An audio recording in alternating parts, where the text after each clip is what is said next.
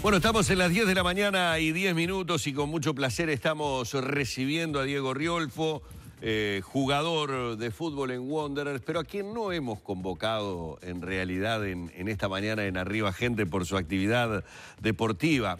O, en tal parte vez sí. sí. En realidad se ha recibido como economista y vamos a hacer una nota analizando justamente la situación económica. Primero del Uruguay, después de la región, para pasar luego. Bienvenido, Diego. ¿Qué tal? Un placer, ¿eh? Bueno, muchas gracias por la, por la invitación. Bueno, lo primero que uno se pregunta es con el sacrificio que demanda, sin ningún tipo de dudas, una carrera futbolística, ¿cómo encontraste, cómo lograste, además, eh, duplicar, triplicar tus horarios para una carrera nada más y nada menos como la de, la de economista? ¿Siempre quisiste ser economista? Sí, bueno, desde, desde chico siempre me, me gustaba un poco el, el saber los gastos de mi casa, el, el- el intervenir en las decisiones, opinar. Y, y bueno, siempre me apasionó eso y a medida que fui avanzando en secundaria me di cuenta que, que por el lado de la economía era, estaba mi, podía estar mi, mi futuro. A medida que he ido avanzando en la carrera me ha gustado cada vez más y en mis tiempos libres me pongo a leer eh, cosas de economía nacional, internacional, me, me gusta estar informado.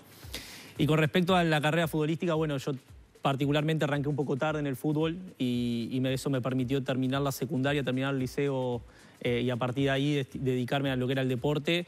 Y, bueno, tuve el apoyo de, mi familia, eh, logré encontrar espacios eh, medios muertos en lo que es el fútbol re- con respecto a las concentraciones, a los viajes por copas. y bueno, aproveché el tiempo lo máximo que pude. Le puse mucho sacrificio eh, porque a veces no es, no es fácil y sobre todo cuando te toca competir en el extranjero. A mí me tocó estar tres años jugando afuera y ahí eh, tuve que abandonar un poco la carrera transitoriamente. Entonces, bueno, con voluntad y con, con el apoyo y el, y el contexto eh, pude, pude avanzar y, y profesionalizarme y hoy en día poder recibirme.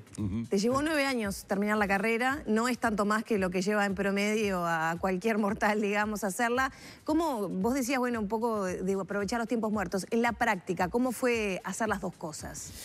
Bueno, eh, en, en general el, futbolista tiene trabaja un horario solo en el día, eh, a veces salvo en pretemporada que tenés doble horario, bueno, generalmente entrenamos de mañana o entrenamos de tarde y después uno puede encontrar tiempos eh, en el resto del día como para de- poder dedicarse a la parte profesional de uno, sobre todo porque nosotros tenemos una carrera muy corta que no sabemos cuándo termina, que a veces está expuesta bueno, a, lesiones, a, circunstancias que uno no, no planifica. Y, y esto yo lo traté más que nada por llevar un plan B, decir, bueno, si el fútbol no, no prospera, si en el fútbol no me va bien, tengo una herramienta como para poder Una visión seguir. económica, Exacto. economista. Más de proyectar el futuro. Y, y bueno, fue por ese lado que, que me puse esa meta y, y como que no me moví de eso, a pesar de las dificultades que fui encontrando. Eh, pero bueno, nosotros, como te decía, los deportistas tenemos una ventaja en- con respecto a los horarios que quizás un trabajador común no tiene porque trabaja 8 o 10 horas y hasta se le dificulta mucho más encontrar ese horario para poder estudiar.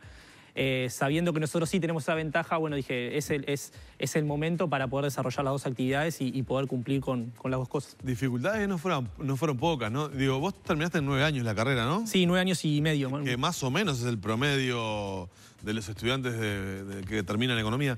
Yo, me acuerdo cuando vos estabas en México, una carta que publicaste, porque supongo ese fue un momento de desazón para vos, porque habrás encontrado un escollo. ¿Qué, es lo que te pasaba cuando estabas afuera? ¿No, no podías revalidar o no podías eh, eh, hacer eh, rendir a distancia, digamos?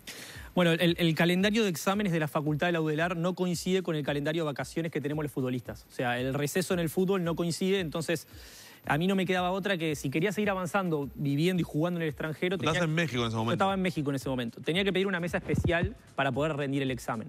En ese momento, cuando yo me voy a México hace dos años, me quedaban solo dos materias para recibirme. Eh, y ya estaba por terminar y justo me sale el pase. Y bueno, por una decisión familiar, económica y también por, porque hoy en día yo estoy abocado al fútbol eh, y no tanto a la economía, sino que mi, mi- mi- mi trabajo es el fútbol. Ah, tu presente es el fútbol, mi presente es el fútbol y, y me quedan unos años más. Y, Tenías que ir sí o sí a México. Entonces tenía que Un mercado aprovechar. muy, muy importante, además. Es un mercado que, que te permite un crecimiento, que es importante. Claro. Y, y era un desafío personal para mí. ¿Y qué pedías? ¿La formación de mesas especiales? Claro, entonces yo dije, bueno, quiero terminar esta carrera, quiero terminar para poder seguir estudiando un posgrado y especializarme en algo y necesitaba recibirme. Entonces pedí la mesa especial y, bueno, fu- se me rechazó porque obviamente yo no entraba en las condiciones especiales para otorgar una mesa. Y en ese momento decidí hacer pública la situación, pero más que nada no por, no, no solo por el, por el sentimiento que yo tenía de sazón, sino también por generar un debate público, de decir, bueno, ¿qué hacemos nosotros o qué se hace del lado de la educación para apoyar a los deportistas de alto Claro. rendimiento? En aquel momento lo, lo lograste, me acuerdo, porque fue un tema que estuvo muy, muy latente esos días. Sí, tal cual. Me, me llamaron de distintos eh, lugares y órganos como para, para poder llevar esto a, a- a- a cambiar, digamos, a, a buscar una solución, pero no solo para el futbolista, sino para, para ese deportista que, que compite en el extranjero. El otro día, por ejemplo, por las redes sociales me escribió un ciclista español, un ciclista uruguayo que está en España y quiere seguir con su carrera en el ICEF y no encuentra la forma. Y, y me parece que, que nosotros estamos expuestos a que cuando se nos termina la carrera de muy jóvenes no sabemos hacia dónde arrumbear. Claro. No tuvimos el tiempo para formarnos. Eh, no se olviden que el futbolista arranca a trabajar de los 12, 13 años, eh, a ser inferiores, a tra- a- como un trabajo común. Y esas cosas hacen que después, bueno, a- a- no, le- no te quede otra que, que salir a, a pedir algún favor para conseguir un trabajo. Y, y bueno, en ese momento decidí hacerlo público para generar ese intercambio, ese debate y se han logrado El cosas. tema es que hay que tener cierta flexibilización para ese tipo de cosas, tanto para la formación de una mesa especial, como decías, más allá de lo que pueda decir la letra dura, de lo- como por ejemplo, lo comentábamos acá una vuelta con los chiquilines de Plaza Colonia, iban eh, las divisiones juveniles de Plaza Colonia, tenían un partido entre semana, tenían el liceo, tenían que rendir un examen y no se los cambiaban, Una- parece una incongruencia. Bueno, eh, era más por ese lado. O sea, yo no, no podía opinar si estaba bien o estaba mal porque también recibía comentarios de muchos trabajadores que decían, mirá que yo trabajo 10, 12 horas y no recibo tratos especiales. Eh, la, la- la diferencia que tenemos nosotros es que nosotros no podemos pedir en el trabajo un día para faltar por estudio, para faltar un examen. Si vos estás viviendo en México, Claro. yo no podía venir a dar un examen Claro. y pedir permiso.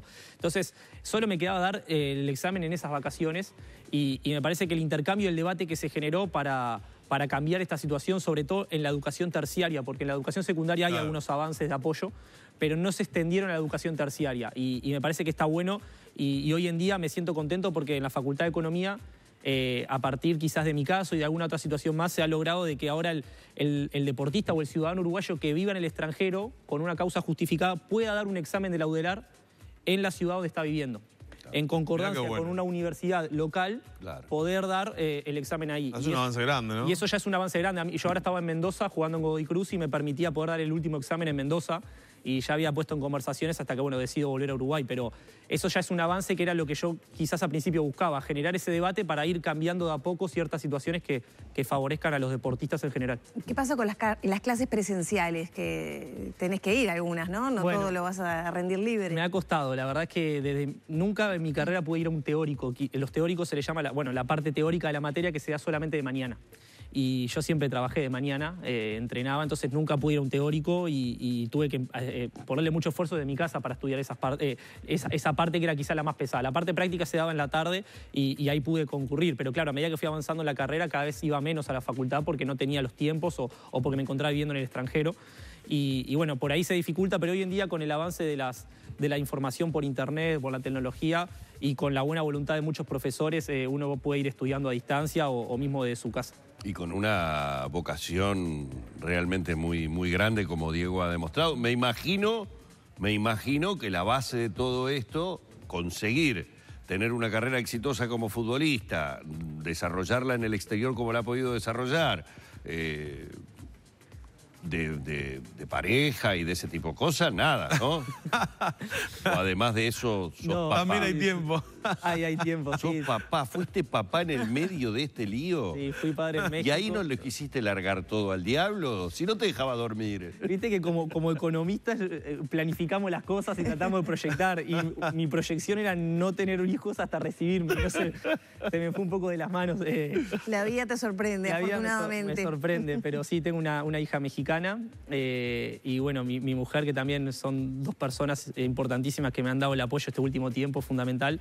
Y, y bueno, me ha, me ha costado un poco más estudiar esta última parte con mi hija que demanda, con un año, con un año y medio tengo, Claro, una tengo unas complicaciones. Tremenda demanda. Pero, pero sí, lo he dicho siempre, el- para todos los ámbitos de la vida, cuando uno realmente se propone algo y, y las metas las tiene claras, creo que, que con el esfuerzo... Qué lindo gol ese que estamos viendo ahí. La verdad, este, la verdad que señoras, señores, hemos hecho una nota con Clark Kent. En realidad, Y te pelaron, ¿no? En el festejo, porque No me quedó nada. en la foto de- del recibimiento estabas con más pelo. Eh, En el final lo preguntas, este, ¿cuándo vuelve el morro nacional y a cuánto está el dólar a fin de año?